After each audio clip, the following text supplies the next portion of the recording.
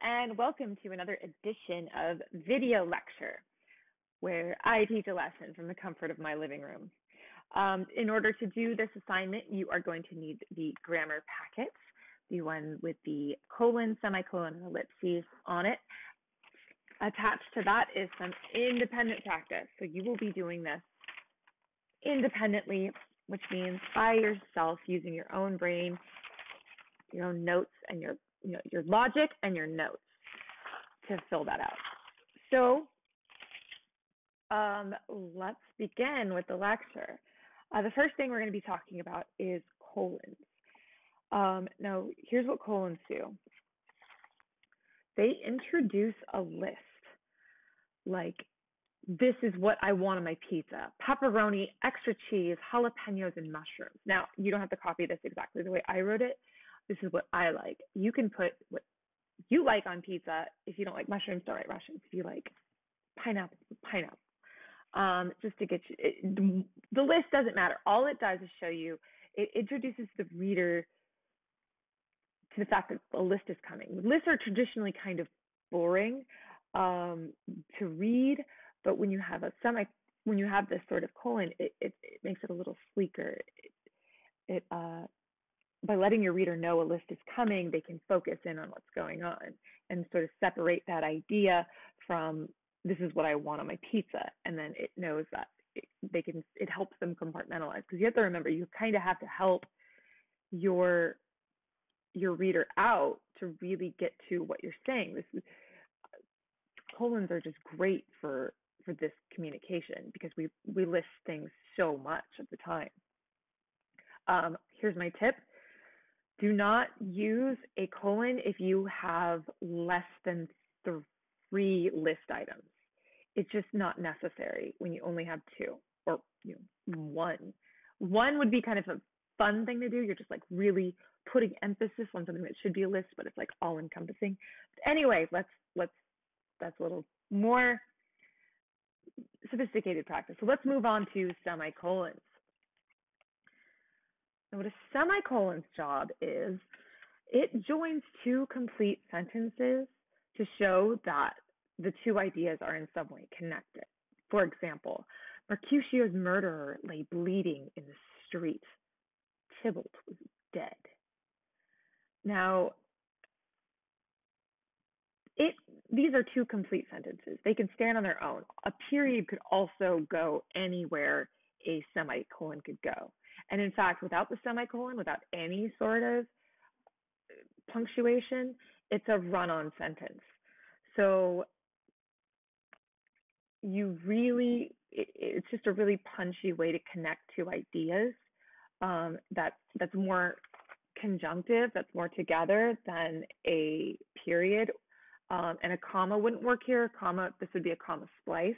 Comma, remember, joins two dependent clauses or an independent clause and a dependent clause.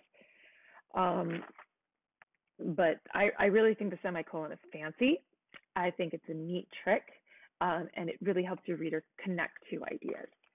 The next thing we're going to be talking about is an ellipses. Now, ellipses do, in my opinion, they have too many jobs, but we're going to talk about three of the most common uses of the ellipses.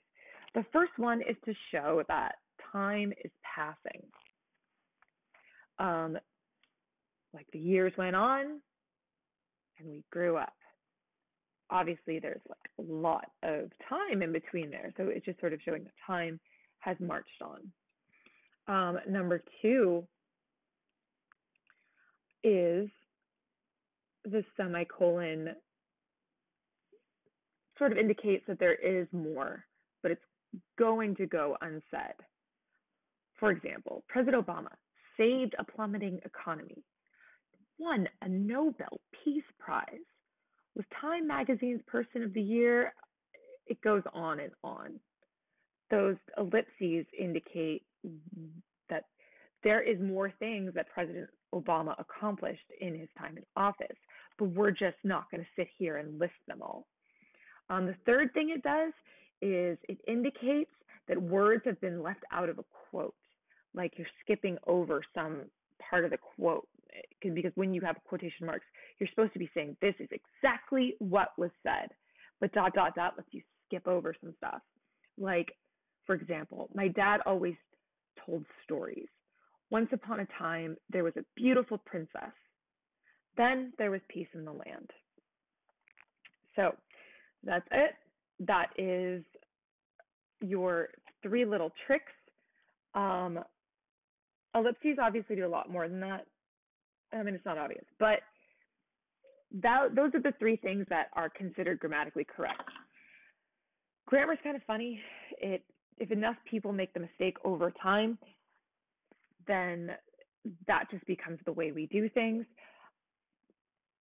Um, it used to only mean that you were passing over text because grammar does need to be precise when you expect a a um, a punctuation mark to do too many jobs. It's its whole purpose, its whole meaning gets really convoluted. So here's what I want you to do.